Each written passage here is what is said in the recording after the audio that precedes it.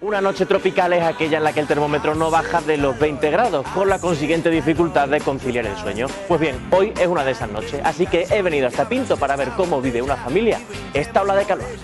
Madre mía, no son ni las 9 de la noche y el termómetro marca 35 grados. Cuarto de. Hola, Sonia. Soy César, ¿puedo subir? Venga. Hola, Sonia. ¿Qué tal? ¿Cómo estás? Dame un beso. Con mucha calor. Que estaba diciendo que hace calor fuera, ¿eh? Vuelvo, de esto te vas a enterar. Hola, buenas noches. Pero bueno, ¿qué hace toda la familia aquí? Que venimos de mi hija que se ha graduado de la celebración de su graduación. De Ay, pues enhorabuena, dame un beso. Nunca tengo calor. Tengo siempre frío, pero ahora, estoy, ahora mismo estoy asfixiadita.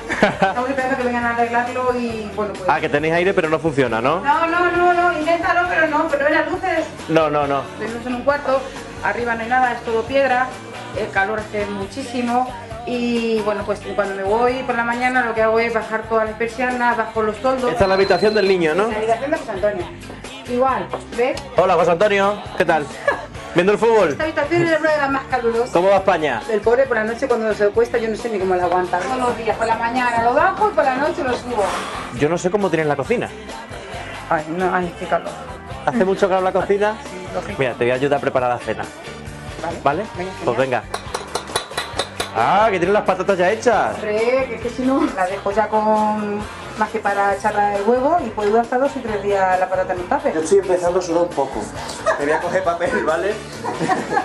Así, por, además, voy a dejar la cámara y todo. Pero que hace, cal- hace calor de verdad, ¿eh?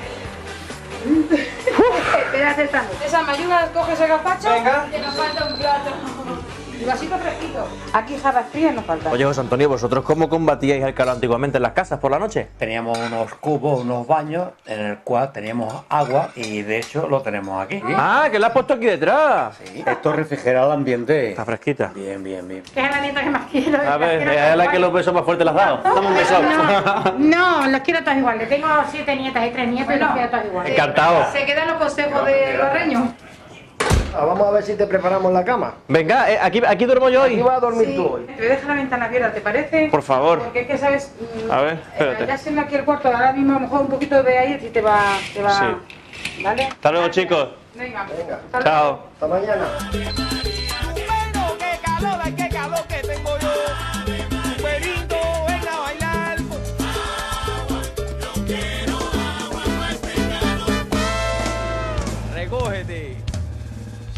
Apuro porque la casa no es mía, pero le voy a preguntar a Sonia si tiene algún ventilador o algo.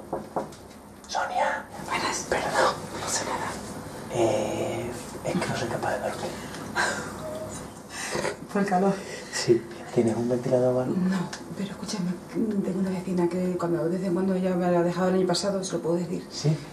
Que no está muy lejos, ¿no? No, está aquí. Está aquí. Ah, que es este ya. Sí, este está, está Pero aquí. si sois súper vecinas entonces. Es el mismo recinto. Vamos a ver. Eh, ¿Tienes sueño? Poco. Perdón. Maruja. Maruja. Perdone, de verdad, perdone que soy tan tarde. Pues mira, radical ¿dónde estaba? Porque es que hace una calor que, que es que no se puede aguantar esto. A ver qué se puede hacer. Vale, de volver. Un beso. Eres muy guapo, vez. leche, qué guapo es. Muchas Y gracias. también. Que los vecinos nos van a llamar la atención.